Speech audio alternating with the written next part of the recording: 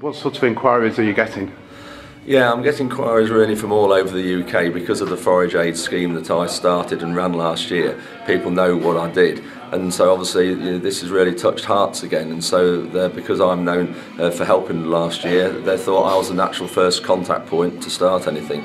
But yeah, you know I am helping, uh, and anybody who's got any fee to donate, um, you know the compassion is there still.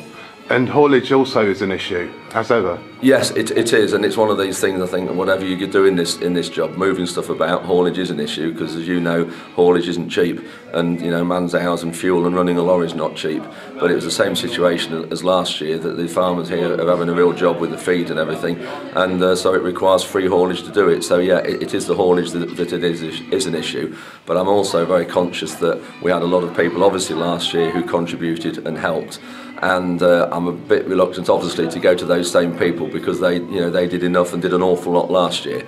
And there's enough hauliers out there on in the UK you know who will do it again you know this year who didn't help last year and who will step in. What what sort of hauliers are coming forward Well, we've had various one-man band hauliers like farmers hauliers as well as big companies, but a really interesting development yesterday was Tesco actually came on board and through Stobarts, who are their main main uh, contractors, and Tesco said they're willing to help and have actually already started moving two loads, uh, which is absolutely fantastic, I think, because the supermarkets get quite a bit of stick, you know, generally not supporting British agriculture, but I think really Tesco have led this way, and I think Tesco have led you know, from the front now, and that's brilliant in the show that you know they're supporting supporting British agriculture.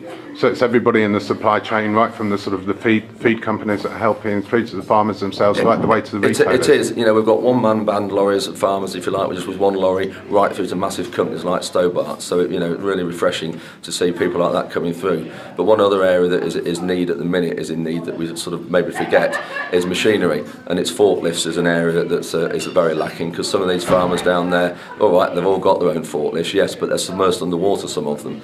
And uh, I spoke to one of the farmers this morning who was badly affected, and he said his tractors are in his yard, but the water is already up to the seat in the cab. It's that deep, so those tractors obviously can't be moved.